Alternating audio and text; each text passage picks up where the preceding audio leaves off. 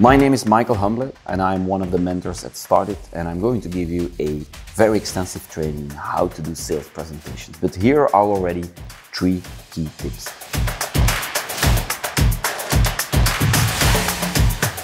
One, attention is the highest in the beginning, so the first two minutes, and at the end. So the most important thing you need to say in the beginning. What is the most important thing? You talk about them and you talk about their problem. That is my major tip number two. Talk about their problem. It's the only way how you can accelerate. It's the only way how you can create a why now, why should I buy your product or service now into that flow. Last but not least, the last tip is always end with choice.